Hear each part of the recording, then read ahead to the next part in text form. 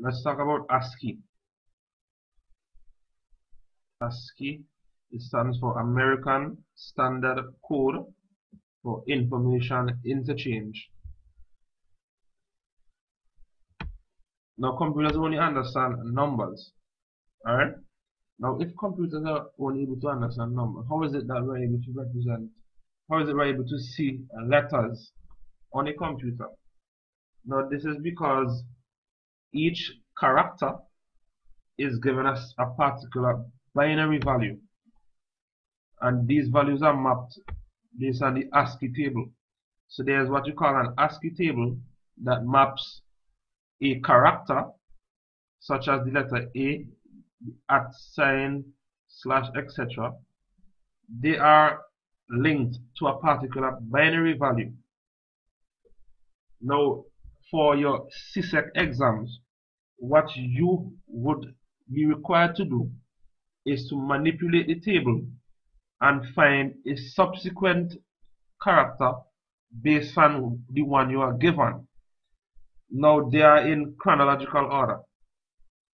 So the letter A would be lower than the letter C. The higher you go in the alphabet, the larger the binary value would be.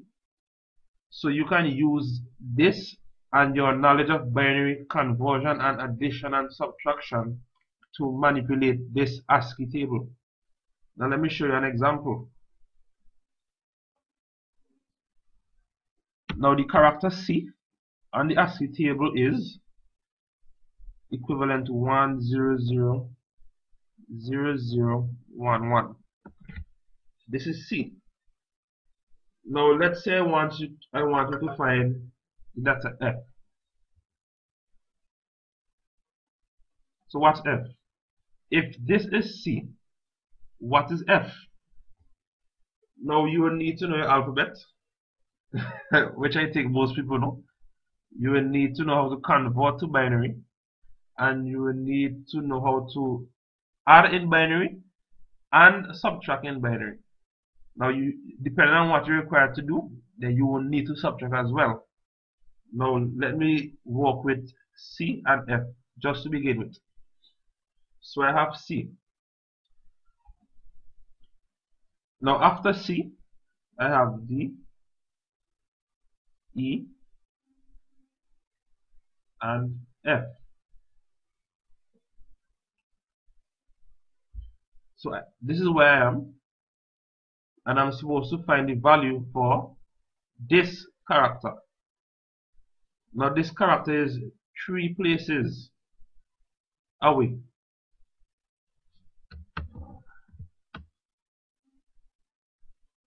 This character F is three places away from C in the alphabet. Now it is not only three places away, but it's three places higher in the alphabet because the letter F comes later down in the alphabet. So that's 3. I will need to add 3 to this in order to find the value for F because remember it's, it's in a certain order, it's counting, going down. Now I can't add this and this together because this is in decimal and this is in binary. So I need to change this to binary. Now 3 in binary is 1 1. Now I know that from the top of my head. Now if it's a larger number, like say I give you A and I want to find um, X, which is way down, then the number would be higher and you would need to convert. But for just for the ease of explanation and for your understanding I use a, a, a small number like 3 so it will be easy for you to understand all the okay? So after I convert 3 I get 1 1 now what I need to do I need to add 3 to this and it will give me F so I say 1 0 0 0, 0, 1, 1 plus the tree.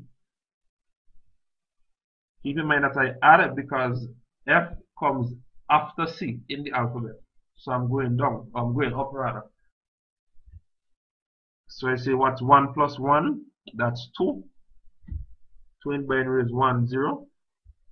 mark off the 0 put it there take 1 put above 1 plus 1 plus 1 that's 3 or 1 1 mark off 1 put it there take this it's above 1 plus nothing that's 1 then I can just bring down these other numbers. So 0 0 0 and 1 so this would be my result. This would therefore be F.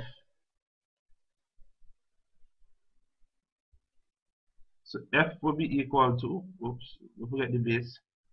1 0 0 0 0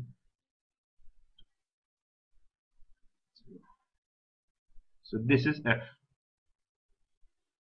now if I was at C and I asked you for A instead of F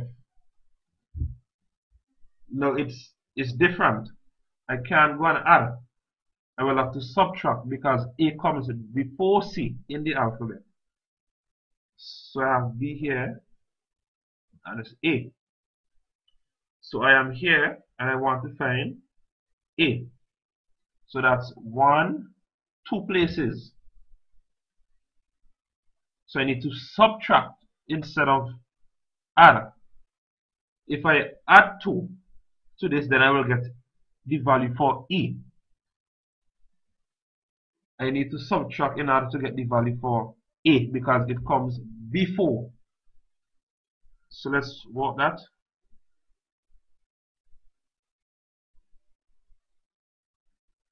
Minus 2 which is 1 0 2 in binary is 1 0 base 2 don't forget never forget to indicate your base. 1 subtract 0 it's 1 1 minus 1 0 and I just bring down the others. 0 0 0 0 1 so this would be A.